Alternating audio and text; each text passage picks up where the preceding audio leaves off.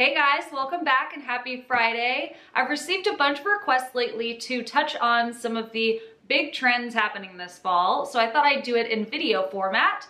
And I'm going to be sharing four outfits highlighting a few of my favorite trends that are happening this season. As always, you can shop everything featured here, if it's available, in the text section below the video. And please, please comment and write feedback and share with your friends so they subscribe because I'm really excited to be doing so many more videos here on YouTube for you guys. So let's get started with look number one. One of the big trends happening this fall is a monochromatic look. And what's great about it is that you can do it by just using things that are already in your closet. Most of these pieces I already owned. I already had this cardigan, I already had this tank, I already had this bag, but I just bought these boots and they kind of go perfectly, don't they?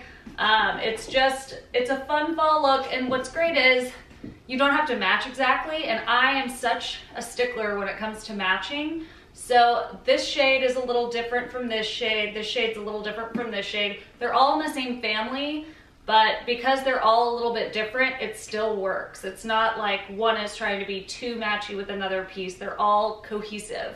And so this is a great look for day to night. The boots are really comfortable. I just got them and I'm super excited. They are a bit of a splurge, but I love them. And obviously cardigans are a great staple. It's not really a trendy thing. It's just comfort is key. It's great for the office. Um, but yeah, so check out a monochromatic look and try it yourself with your own stuff this fall. One more trend I want to touch on in this outfit is the knee-high boot situation. So over the years, the over-the-knee boot has been king. Everyone makes them, everyone buys them. They look great. I, I have them, but I'm not going to buy any more because I'm noticing that they're sort of on the way out. Um, there are certain brands that are still making them, but a lot of designers are doing different styles now. And one that I've seen a lot this season is the knee-high boot in a couple of different ways. And you'll see one, another pair that I bought later. Um, but what I love about this pair is that you can scrunch them down and make them kind of a slouchy scrunchy boot, which is a really big trend this season, or you can just leave them clean and be straight like this. And they're just polished and pretty. Um, but if you're in the market for a pair of boots, my suggestion would be to forego the over the knee boot and go for something like this. Go for something that just hits to the knee or even just a pretty ankle boot because I do think that the over the knee boot trend is a little tired and maybe on its way out. Unless you've been living under a rock, you'll know that velvet is a huge trend this season. There's not a single designer, shoe, handbag, or clothes that I can think of that hasn't made a piece in velvet for this fall. It's all over the place. And I already own a couple of velvet items like a blazer, so that really wasn't on my radar of things I needed to buy this season. But I have been in need of a good little black dress for nights out, and I spotted this beauty. Uh, I can't even remember where I bought it, but I will link it below for you to shop. But what I love about it is it features kind of a lingerie look up top. It's got a little lace detailing here and at the hem. So it's got kind of a little sexy vibe for a night out, but what I did here was I dressed it down with a trench jacket, which is also a big trend, but also a closet staple for me. I have too many trench coats to count now, um, but they're all long. And I love how this one is shorter. It's really easy to wear with jeans. Actually shot it for the blog yesterday, so stay tuned next week. I will be sharing that outfit. It is not the same as this, so you'll get kind of good styling tips that way. Um, but if you're looking for velvet, de definitely think of it as a uh, nighttime piece. I know it's great for daytime. With shoes, I feel like that's great. But I just can't imagine wearing this during the day, and I can't imagine wearing my um, velvet blazer during the day unless it was a special occasion. So that's why I thought this would be a great piece to get for fall for a night out. I just thought it was so pretty. It's basic, so I can pair it with any kind of jacket even in the in the when it gets colder, I can wear it with fur.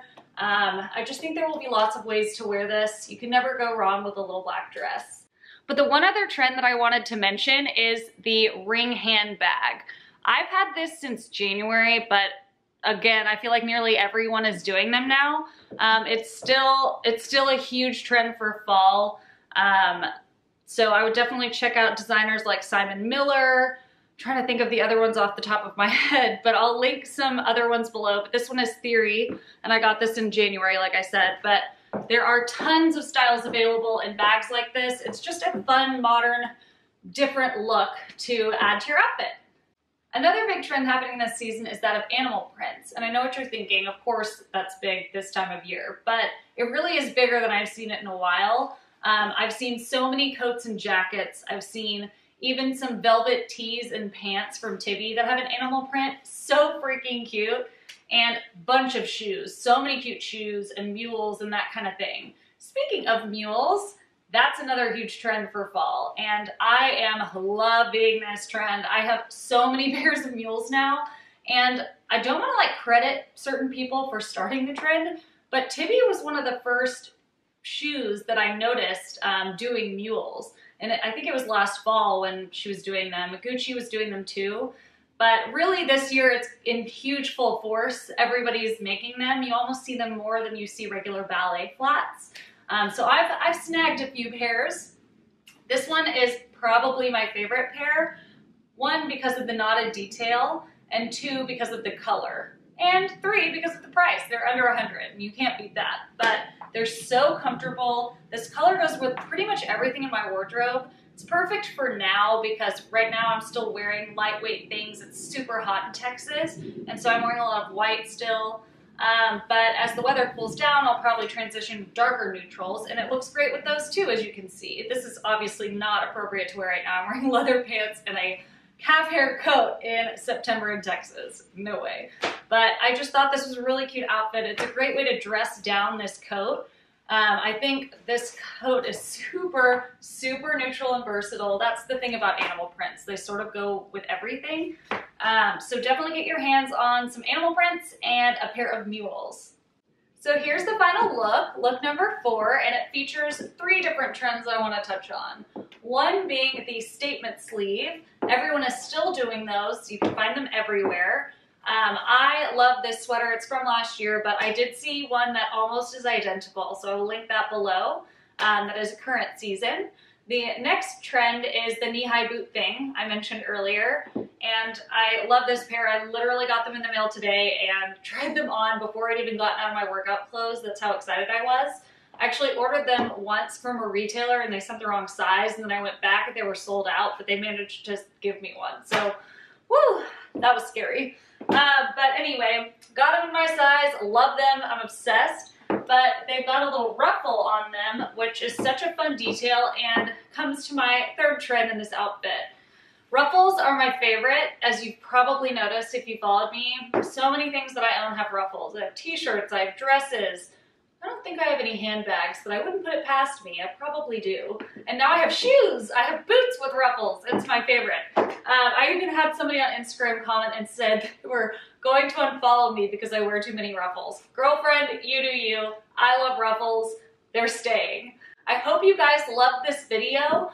Um, it took a little longer than I thought it would putting it together, but I hope you guys enjoy it and enjoyed the trends that I'm loving this season. Like I said before, shop everything you see here in the text section below and check back soon for more videos. I'll see you guys next time.